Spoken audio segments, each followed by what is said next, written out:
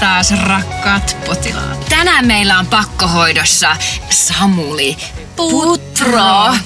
Ja seuraava potilas Samuli Putro. Jokaisella isot haaveet, jokaisella suuret pelot, sodat, työttömyys ja ilmasto. No, ihan vähän vielä. Olisi tulikko murheeseen tai pullo musoleita murheeseen, niin kuin laulussa sanottiin. Onko sulla yhtään mitään äh, käsitystä siitä, että minkä takia sut on pakotettu tänne hoitoon? Niin tässä on tavallaan tämä, mikä oikeastaan niin jonkunnäköisenä ongelmana saattaa joskus todentua, niin on se, että mä en oikein koko aikaa tiedä, että teenkö mä niitä asioita, mitä mä näyttäydyn niin kuin tekevän tai näytän tekevän vai kuvittelenko okay. mä näitä asioita. Eli mulla on niin kuin pieni ongelmia se todellisuuden kanssa. Todellisuuden taju, sä voit kirjoittaa Joo, sen ylös. on- Tällä kertaa sut on kuitenkin kutsuttu tänne ton sun Älä sammu aurinko loppuun myytiin jo, älä sammu aurinko. Kun sä pelkäät, että se aurinko sammuu, mm. niin tiedät sä, että oikeasti siihen on ainakin joku 5 miljardia vuotta aikaa. Ai näinkö on? Me kato, me tutkittiin ja se on niinku about keski-iässä, että sit sillä on vielä puolet about jäljellä.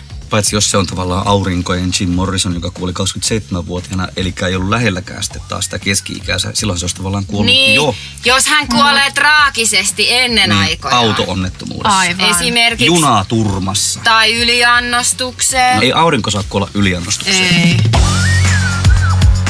Kun meillä on tämmönen uusi kosketteluterapiamuoto. Mm-hmm. Yritettäisiin niinku vähän piirtää sitä, että minkälainen se on se sun aurinko, minkä sä toivot, että ei sammuisi. No, kuule, otan tuosta ton. Sä Nyt se on niinku jäänyt Joo. se väri sun sormeen. Kyllä, väri ja sit on voit... sormessa. Niin, Niin, ja sit vaan siitä alat niinku piirtellä. Välillä sitä miettii tätäkin todellisuutta, että onko tämä kaikki totta vai pelkästään vaan unta. Piirtäisikö sä nyt, äläkä koko ajan hössötä siitä? Piirrä, äläkä selitä, saatana. Niin. Niin. Luulen, Noin. että toi olisi tossa niinku tavallaan sille kuvastamassa jotenkin semmoista niinku sitä sen loputtomuutta. Tossa on musta Okei. kaikki.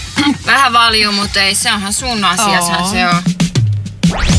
Mä mietin sitä, että mm. siinä on kaikkia näitä tyyppejä niin kuin Jaakko ja mm. Söde ja Svode ja Svode ja näitä. Spande. Spi- Spirkis ja... Niin. Joo, mutta missä täältä on kaikki niinku Pirkot ja Olgat ja Pamelat, kun tässä ei niinku yhtään naista. Niin, kyllä mä naisistakin on kirjoittanut aika paljon ja se on ihan yhtä Joo. palkitsevaa kuin miehistä kirjoittaminen, mutta näin Niin. kävi nyt tällä kertaa. Kyllähän tuossa pop-hommassa on se, että, että jos siinä jotain tavallaan niin kuin saa, niin naisia, Niin naisia saa. Niin, ja tavallaan sitten se, on, se muodostuu ongelmaksi se, että millä helvetillä sä muistat kaikkien niiden naisten nimet. Niin. Koska jos vaikka esimerkiksi ajatellaan jotakin tämmöistä niin klassista Gene Simmons-hahmoa kiss yhtyeestä kertoi Mm. kaataneensa sen 4000 naista ja ainoa mikä sitä harmitti, niin oli se, että sillä ei ole kahta sukupuoli